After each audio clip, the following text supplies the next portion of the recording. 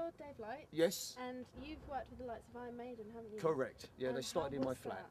They started in your flat. Yes, they did in the East End. Right. Okay. How did that work out? It was great. Yeah, yeah, it was good. I was doing a load of stuff, doing Battle of the Bands stuff Yeah. uh, back then, and uh, put on a gig, Mm. uh, which Steve Harris played at, and they came in second, not with Iron Maiden, Yeah. band called uh, Gypsy's Kiss, Yeah. and um, then he started going out with uh, a friend of mine Yeah. who went to school with my first wife. Yeah. Um, and basically, she said, I'm going out with this guy. Can I come and rehearse at this big old church house that we were squatting? So I said, Yeah, not a problem. They came and rehearsed there for a year. Mhm. And then Steve said, Oh, do you want to go and do some roadie and stuff? I said, Yeah, I'll make you up some lights and stuff. So Yeah. basically, that's where my career first started. Right. Okay. Um, and then the rest is, is history, really. you were there when Iron Maiden got bigger and bigger. Yeah, I stayed there till somewhere in time, which was the one where the whole stage set turned into the Eddie Monster, where where Yeah, What's the idea about?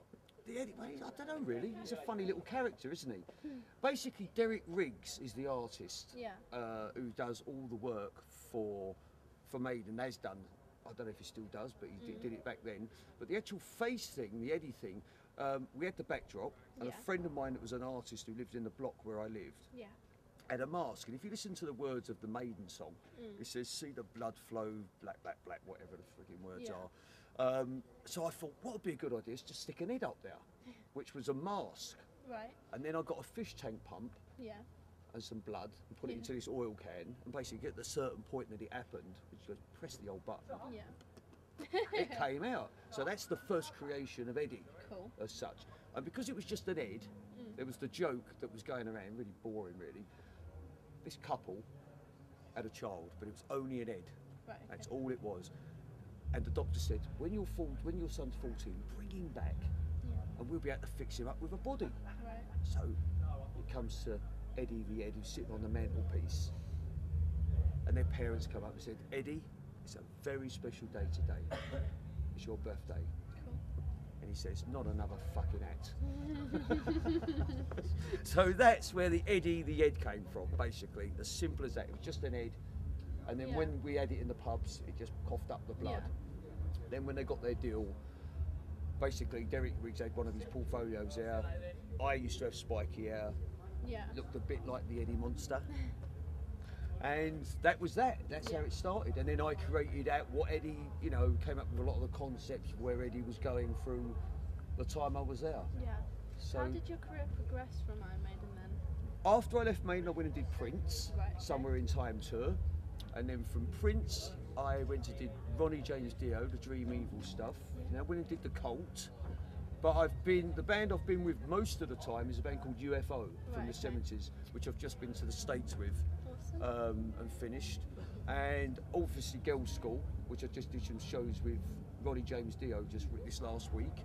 Um, did a bunch of TV work, uh, did a couple of um, hot programs, and, and worked at the London Astoria Yeah. uh, for 10 years as the house LD Yeah. down there.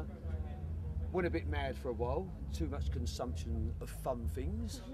So I had to backpedal Right. like crazy, which I've been doing for about the last 12 years. Yeah. Um, and I'm 50 next month. Oh, are you looking forward to it? Uh, yeah, Got sort of. big planned? A No, big bash? no, nothing. No, just just happy to be alive, really. yeah, yeah. So- and the Clive Aid stuff, basically. I've known Clive obviously because he was in the band. Then when Clive left and then I left, we did a few projects together. Yeah. After that, um, and obviously it was very sad to find out about you know his his problem, as we like to call it. And um, when I can help out with the Clive Aid stuff, I do. Yeah. I mean, you know, it's all for charity, mates. You know what I mean? Is it all going well? Like, do you think it's reached the point where it stops, or can it go so much? I further? think it could go further. I think it, it, it's it's a gradual progression. I think Yeah. the more people that get involved, um, and there's a lot of good people out there. Yeah. Um, it, it can only get better. I mean, we were in Norway about six or seven weeks ago. Yeah. Fantastic with the Iron Maiden fan club out there. Cool. Had a great time, lovely people. I mean, that's the thing about the Maiden people or the Maiden fans. Yeah. Are very loyal, Yeah. and that is what's very special Yeah. about it. And it's very special that they they've taken on the Clive Aid thing as well. So What are your plans for Clive Aid after this?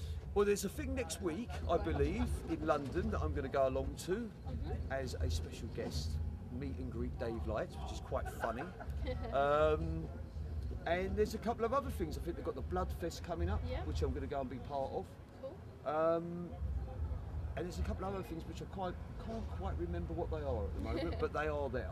Cool. Um, but as much as like, if I'm not working with the UFO guys, I'm there just to help Yeah. out. And So- what do you hope come out of today? Like, what do you hope to achieve out of today? everyone has fun really you know and, and they, they get a bit of money they can put it towards um, multiple sclerosis and cancer research Yeah, you're doing on, on teenage cancer. that's right yeah testicular yeah yeah so Yeah. you know hopefully we can make some money for that Awesome. not much else you can do really You're in it for the good cause. yeah yeah and it's, it's like a busman's holiday isn't it you know you meet up with your old mates that sort of behaviour so Kind of like a win-win thing. yeah it's, it's all win it's Yeah. all win, no lose, really it's as I said before it's all for charity mates it's, it's, it's, it's a good time What kind of like? Obviously, you know Clive, very well so that inspired you to do this. But was there any other reason for it, or was it just because? mainly because of Clive. Yeah, I mean, very, he, he lives down the road from where I live in London. Yeah. Um, You still in contact? with still in contact Yeah. with him. Obviously, it ma I feel a bit sad. You know, it's hard to see someone who's that motivated and, and that Talented. talented and everything. You know, just very, very mobile person. Yeah. To see him now. Uh, not being able to do that, it, it, you know, and I'm a bit of a softie, you know, Yeah. so I have to be in the right frame of mind to actually go and see him Yeah. myself. Um, so I don't want him to see me upset and then make him upset. You know, it's daft, really, isn't it? But you know, quite a sensitive character. You know what I mean?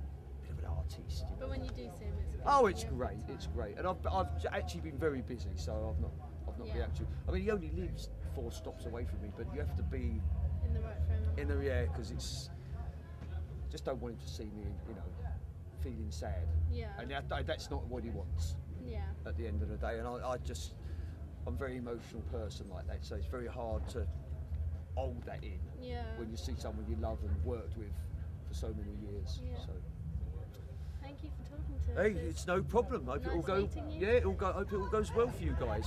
Thank you. Hope you got my best side. Thanks very much. Yeah. See you later. Rock on. Cheers. Yeah, no problem at all.